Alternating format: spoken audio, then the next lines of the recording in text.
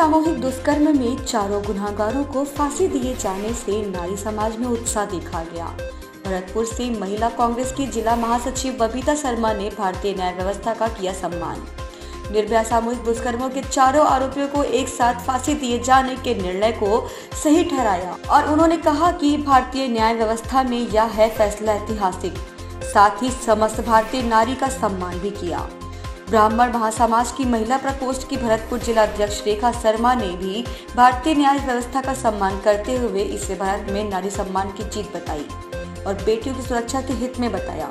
उन्होंने कहा, देश की बेटी आज हर क्षेत्र में पुरुषों के बराबर समाज में अपना योगदान दे रही हैं। फिर भी पुरुषों के बीच अपने आप को सुरक्षित महसूस नहीं कर पा रही। लेकिन इस प्रकार के न्यायिक फैसला आने से सुरक्षा का माहौल बनेगा। कक्षा बारहवीं की छात्रा नेति शर्मा जी को बताया कि बाबा सुग्रीव विद्यापीठ में अध्ययनरत है। उन्होंने निर्भया सामूहिक दुष्कर्म के गुनाहगारों को फांसी में तेरी को भारतीय न्याय व्यवस्था पर सवाल खड़े करते हुए कहा कि गुनाहगारों को आसान मौत की सजा दी गई है।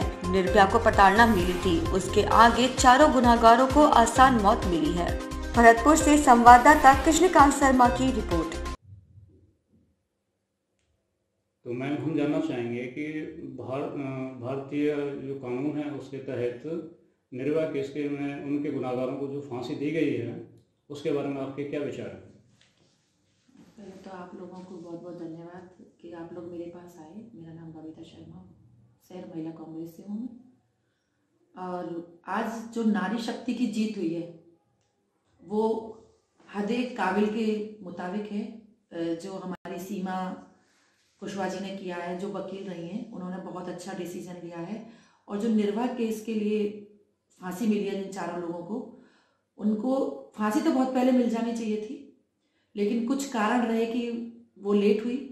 लेकिन आज हमारे लिए, हमारी महिला जाति के लिए बहुत खुशी का और गर्व की बात महसूस हो रही है कि उन चारों दरिंदों को जो फांसी की सजा मिली है, उससे निर्भय की माँ को जो शांति मिली है, वो तो मिली ही है।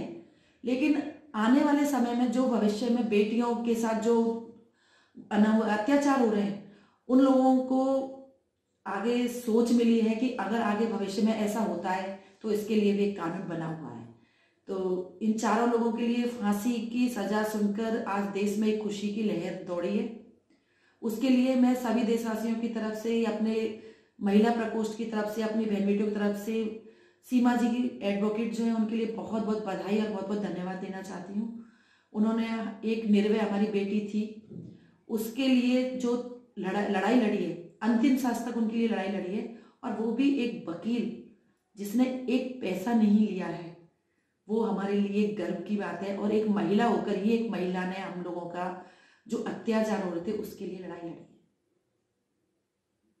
धन्यवाद के लिए जो निर्भया सामूहिक दुष्कर्म मामले में जो आज फांसी हुई है, उसके बारे में कानून भारतीय कानून व्यवस्था के बारे में आप क्या कहना चाहेंगे?